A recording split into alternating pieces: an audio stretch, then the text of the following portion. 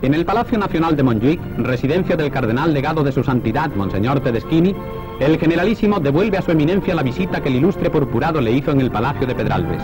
Tras haber sido saludado por la corte de los miembros de su eminencia, maestros de ceremonia y camareros secretos y de honor, el generalísimo se reúne con Monseñor en el Salón del Trono antes de pasar al Salón de Damascos Dorados, escenario de su entrevista.